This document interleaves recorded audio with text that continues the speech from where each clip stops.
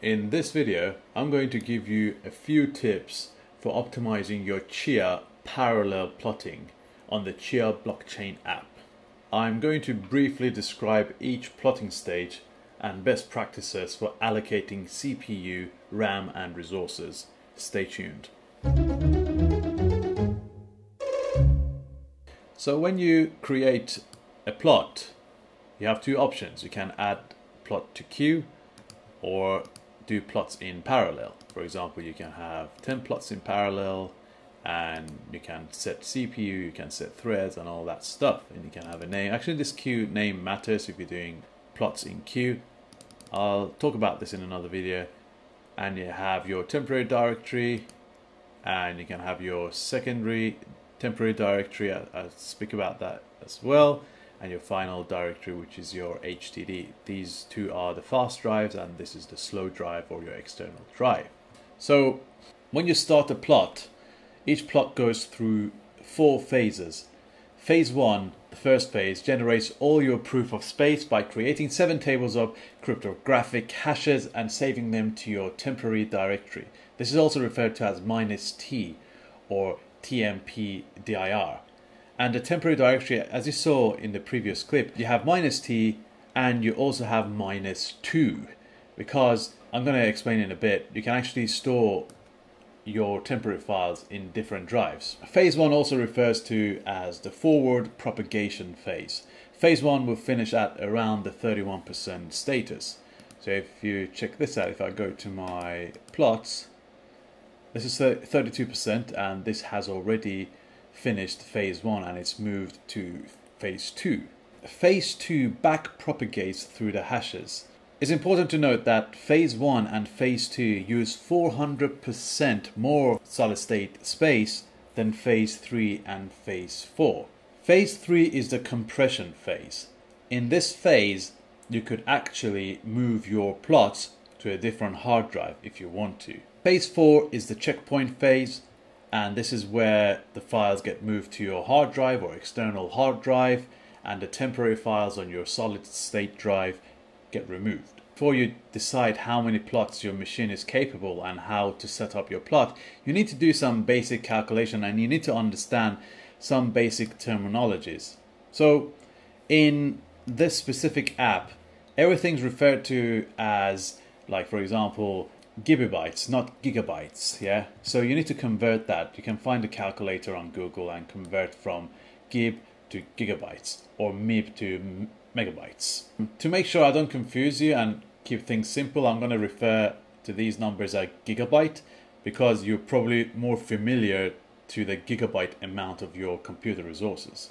When it comes to RAM, anything more than 5 gigabyte allocation per plot doesn't make that much of a difference. Recommended RAM is between 4 gigabytes and 5 gigabytes. And again, I'm referring to gigabytes, not gib. And CPU thread, uh, only in your phase 1, you use more than one thread of CPU. And I've been experimenting and minimum RAM, I think 2 gigabytes should be your minimum. There are other things to consider. For example, if you have a 2 terabyte solid state drive, you have to remember that each standard plot, a K32 plot, will take around 108 gigabytes. That's 101 gib. And you have to remember that phase 1 plus phase 2 use four times the size of your final plot. So you need around 440 gigabytes of space for each plot. That will limit your 2 terabyte solid state drive to plot only 4 plots in parallel at the same time. Unless in phase 3 and phase 4 you move some of that plot to your secondary minus 2 hard drive. But I've been reading on the internet and I think it's best you have maybe a couple of larger devices and hook them up together and just use one drive and save the hassle because the less you move the files, the less chances for corruption and the less chances for the GUI to get stuck and all that stuff. Another thing you need to consider and find out is how many threads does your CPU have? This is different to the number of cores on the CPU. Your CPU could have 10 cores and 10 threads or it could have 10 cores and 20 threads or 30 threads. So it's worth checking that out. And also check out what's the maximum RAM your computer holds. If your computer holds 32 gigabyte of RAM, then that will give you eight plots of 4 gigabyte RAM allocation.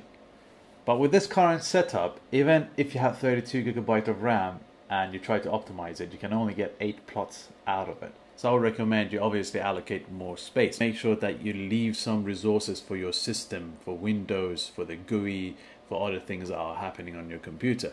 So when you plug in all these values and you kind of write down how much resources you have, then I would suggest you do one plot and find out how long it takes to do that one plot with the maximum resources you can adjust.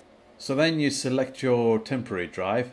This is your fast SSD drive. You can also select the minus 2 drive, the secondary temporary drive, which will move your plots, temporary files, after phase 2 into the secondary drive.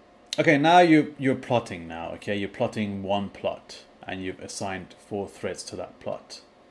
Once it's past the 31%, I want you to look how long it took for that to finish. So in order to do that, you click on the three dots next to the plot and you click on view log. This is your plotting log. So if you have any issues, any problems with your plot, you, you always go to this log and try to figure out what's happening.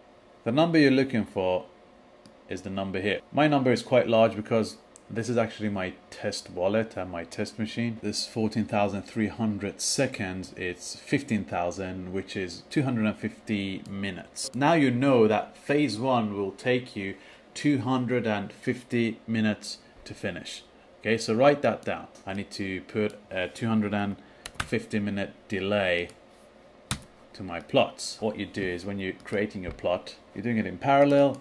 Now you add a 250 minute delay then you start the second plot, then you start the third plot with the 250 minutes delay to just make sure there's enough resources available for that CPU intensive stage one or phase one it's called. At some point they will all be running at the same time. I hope you found this video useful. Thank you very much for making it this far.